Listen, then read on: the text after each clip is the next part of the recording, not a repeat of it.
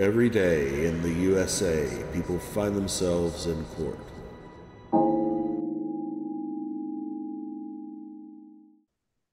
And next one is Jacob Strong. Strong? Strong, yes. Jacob, We are on the record, or we will be when he shows up.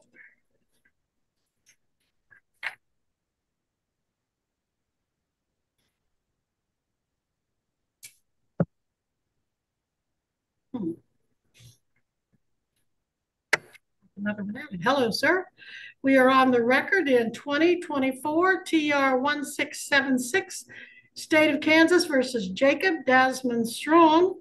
Jared Regier for the state, Mr. Strong appearing in person and pro se. Mr. Strong is here today, sir, not for first appearance. I, you've been here. If I may interject, ma'am, I believe. Not yet, or please. Okay, Hold, hold off. July 3rd of 2024, you were here. You were here August 20, no, you were here August, July 3rd was, and then you called for your next court date. So now you can interject, please. Sorry about that, ma'am. I was just taking notes. Um, if I may interject, I believe I've had one appearance with you on Zoom that was, I believe, was very successful. The second one was, I believe, the 26th, which was Monday, about a day or two ago. And we didn't really get to quite discuss where things are in the process of this because there was a case that I was not aware of, and I believe you were not aware of from the first time. And I did go ahead and get that took care uh, took care of yesterday when I had tried to call or ask or communicate with you what the case was, where the ticket resided, what the warrant was. I ended up finding it, and I ended up turning myself in on my own accordances to lift those warrants and to lift all of those matters as far as it goes with Chautauqua and with you guys. Um, I have all of my paperwork in regards to my bonds.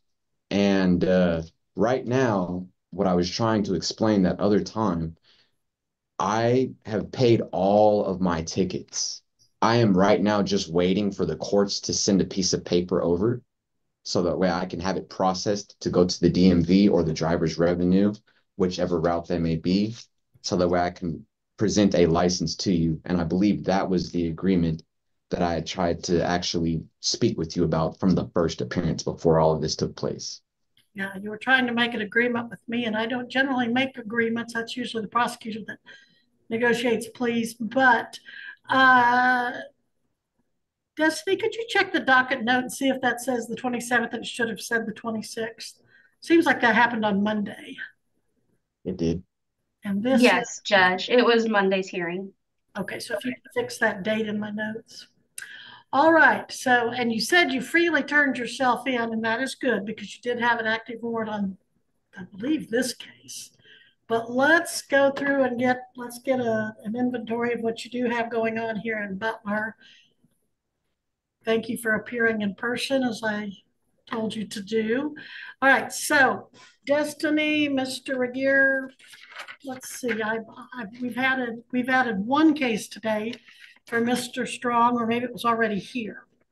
And that is this 24 TR 1676 that we had on Monday. But then don't we have the other one pending too that he referenced? Your Honor, the state's understanding is there is another Butler County case involving the same defendant, twenty-three TR three zero zero zero sixty-one. It would appear that there was a prior failure to appear back in July. However, I am showing an appearance bond recently executed in that matter for a hearing date in November.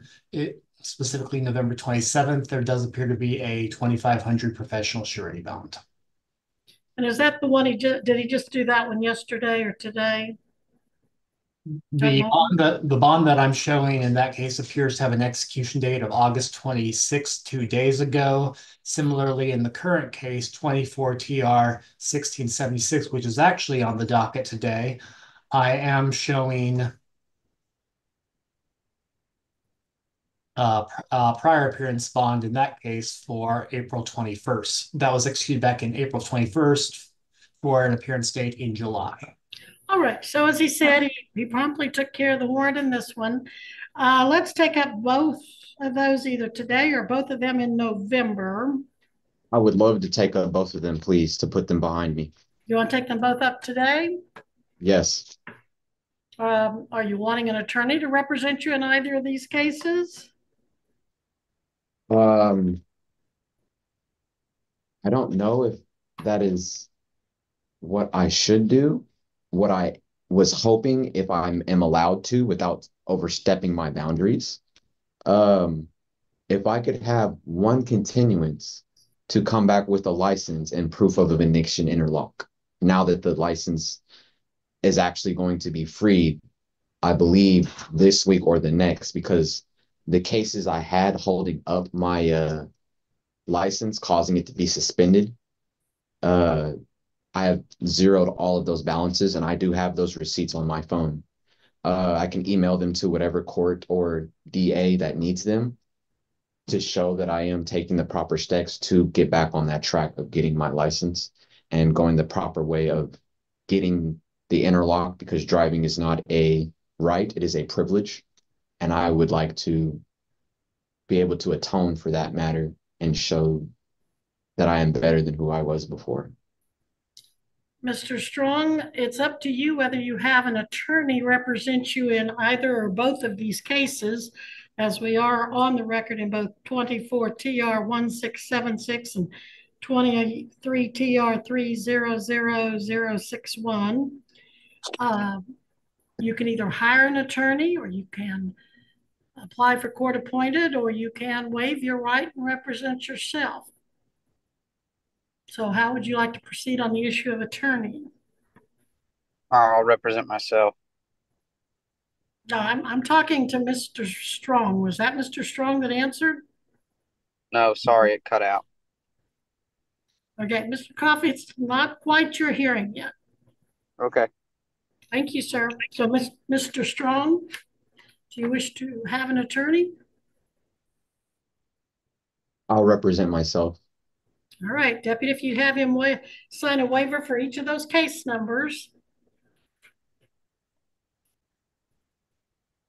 And is anyone making you waive your right to counsel, Mr. Strong?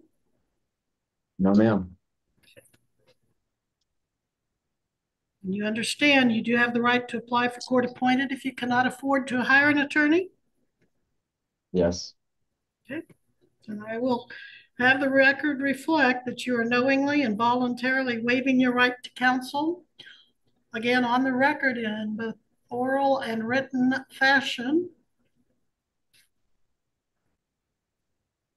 And Mr. Regier, do you have that case available as well, that extra case? I do, Your Honor. Um, the for the these matters to proceed any further, again, while um it is the state's understanding that the 23 case was not set on today's docket and the court is um taking a somewhat unusual approach procedurally in taking it up. If the court is prepared to proceed on both at this time, the state would request clarification as to whether the defendant has successfully waived his right to counsel on the record in both cases. Deputy, he signed a waiver in both cases, correct? Yes, he's, uh, I put both case numbers on there and he signed it. All right, they'll need to be filed in both cases, Destiny. The waiver will, and then, um, or Destiny, would you rather he filled out two separate forms? No, one form is fine, Judge, and I can put it in both cases. Okay, thank you. And then we can take that one off the November date, Mr. Regier and Destiny.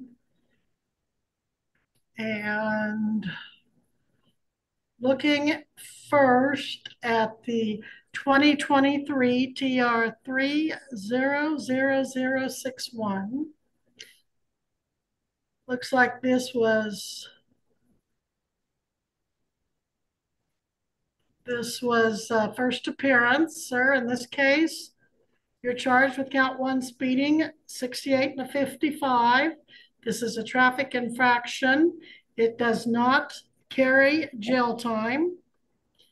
But it is a scheduled fine. Then in count three, the ignition interlock operating without the required ignition interlock device following a DUI is a class A misdemeanor. If convicted, your fine could be up to twenty-five hundred dollars. Your sentence could be up to a year in the county jail. The uh, date of this, these offenses is alleged to have been October thirteenth, twenty twenty-three in Butler County. And then in the other case, the twenty-four TR one six seven six. This is the one that we were here on Monday about. And we did set this over. You did tell me July third you were going to hire an attorney or apply for court appointed. Then today, you're telling me and are waiving your right to counsel. Now, how do you want to proceed on this case? This uh, newer case is also ignition interlock and unsafe turning. Class A misdemeanor and the infraction with a fine only.